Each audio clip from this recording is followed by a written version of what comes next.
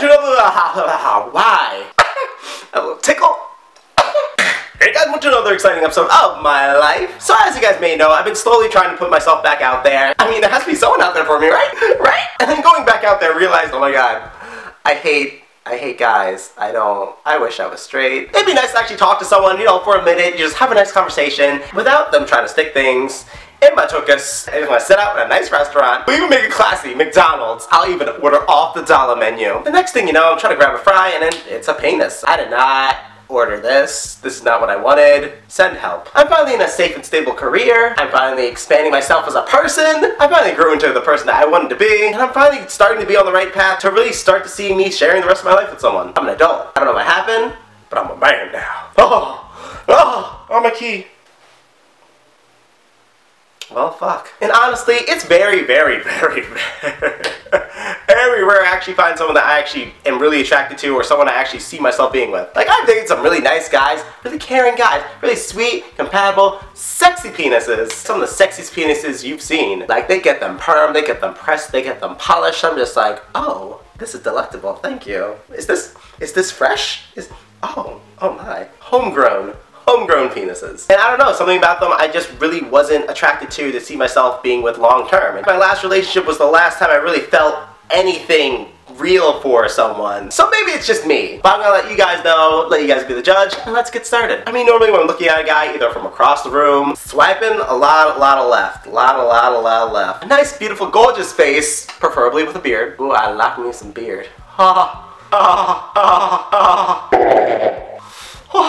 Also teeth, because that's a make or break. If your smile is just, oh, oh baby girl, no, I gotta go. But the, one of the biggest things I look for is a guy with a nice fit build. I mean, they don't have to be big and muscular. I mean, personally, I do prefer guys who are like a little thick, no, stocky, because you know I like them thick bitches, yo, yo, yeah. and I don't mind guys who are like a lean muscular, because like I'm more attracted to fitness itself. I'm not really that much of an ab guy. I don't really care for them. Personally, I focus on my core because I like it on me, but I don't expect you to have that. I mean, just go to a gym. I don't fucking care. But one thing a guy got have is a butt. I like me some booty. I do. I, I, I love I love me some booty. Man butt, nice. Ha. Bah. I don't really get attracted to skinny guys. Just guys who are really skinny or really thin. I'm sorry. There's nothing wrong with you personally. If you are that, I, I just want to feed them. I'm just like, oh, baby girl. No, come sit on Papa's lap. We're going to feed you a sandwich. I get the motherly urge in me to just feed them, like 24-7. Especially if they have no butt. How do you sit? I have to buy them a cushion. I can't date anyone I feel bad for. And another one of my biggest turn-ons is I like guys who are on the same path as me. Like, they want a serious monogamous relationship, and they don't only want to have sex. I'm not saying anything's wrong with sex. Sex is fun. If you want to have it, go have some consensual sex with one person, two person, a party of people, whatever you want. Girl, you go. You get that D. I'm proud of you. I want that one D. I want that one D for life. Like as soon as I'm with that person, they are the person I'm the most attracted to. Like they are the person I want. Like I'm gonna handcuff that D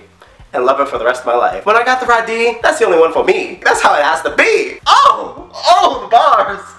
Oh. I'm not saying there's anything wrong with like having a lot of sexual relationship because let me tell you, any relationship I'm in, it's all the time. Hey, hello sex. Oh, I haven't seen you in a while sex. We got like an hour before our movie sex. After the movie, let's talk about the movie sex. We just went to McDonald's sex, we went to the diner sex, we're about to go to the diner sex. Just like, hey, my parents are asleep sex. Hey, my parents aren't here sex. it's almost been seven months. Someone kill me. flew out of my butthole the other day. I just don't, like, if I'm not emotionally connected to you, I can't have sex with you. When I'm having sex is to have it with someone I really care about, someone I really see myself with, because that just makes the sex so much better, and there's nothing to compare to that. Unless I'm seeing you, and I really see myself uh, having a future with you, I don't want to have sex with you. Oh, it's gonna be, it's gonna be a couple years before I have sex ever again, oh my god. So next time I have sex, I'm gonna be 40. I can't do a casual hookup. I am not a booty call. You want this? You get all of this. All of this for the rest of your life. I can't do the one night stand. I just, no. If you want to be in me, you better marry me. That's what I'm saying. Biggest turn-ons of all time is intelligence. I love having intellectual conversations. I love talking about things going on in the world. I love talking about things that actually matter. I love hearing different voices and different opinions, even if you don't necessarily agree with everything. My last relationship, they were very conservative. And I'm just like, how are you real? And yeah, a lot of things we had different opinions on. A lot of things we had different opinions on. Everything we had a different opinion on. And I was so interested in hearing more about his opinion and why he thinks that way. And then more sex. One of my biggest turn offs is not just the lack of intelligence, because look, if you choose to ignore something or choose not to learn something, you're choosing to be dumb. You gotta not. But I hate yes men. I hate when people just fucking agree. Just like, I could be over there, I could say the stupidest shit in the world, either as a joke or something, and they're just like, yeah, yeah, you know, yeah, yeah, man, yeah, yeah, yeah, yeah, I wanna get fucked. If you wanna get into my pants, you gotta get in here, you gotta get into my brain, you gotta get into my heart. Can't just agree with everything I'm saying. Like, I can understand if you actually have your own opinion that agrees with mine, sure, and we can talk more about that. But if you're just agreeing with me mindlessly because you got nothing else going on yourself. How are you a functioning person? Just I can't. And also like conversations about common interests. Like I love books, I love movies. If you can talk about those things with me, I'm just like, all right, let me just let me take off my chastity belt real fast. And one of my number one biggest turn-ons of all times Ooh, that just makes me touch my tetas just thinking about it right now, is humor. I love funny people. I cannot be the funny one in a relationship. No. Have you seen my videos? Have you seen my subscriber count? I'm not funny. We all know this. I'm amusing. I'm arousing. funny. I have my moments. I cannot be the funny one in the relationship. Just like, it, I just can't do it. If you can make me laugh, just like constantly, and laugh all the time. We're on our way to a movie. We're in the middle of an argument. We're having sex. Especially if we're having sex, because that is hilarious. Because it is disgusting, it is gross, Ew, there's bodily fluids all over the place. But like, if you can make me laugh during it, then I'm giving you that good boom boom for the rest of your life. Something about humor, it just gives me a boner in my heart and also my pants. If I go on a date with you and I'm just, I'm sitting, we're relaxing, we're talking like, ha ha ha, oh this is so fun, oh yes, this is a ravishing good time, I'm enjoying myself, like ha ha ha ha, ha, and I'm making myself laugh. I believe in second chances. I believe everyone should get, you know, a second chance at everything. But if you fuck up on a first date, that's it, you're done for me. I just, that's just how I am. Just like, I can't. I'm a one and done kind of date. You fuck up once, that's it. I'm out. But if things work out and I agree on a second date, or I'm just like obsessing about you, I'm making Tumblr posts about you, I have you posted on my wall, checking your Snapchat every five minutes to see if you're alive and well, and why haven't you responded to me? Dating is fun. Then you know you did good. You did good because you got me hooked, you got me locked, and that's it. And the way to do it,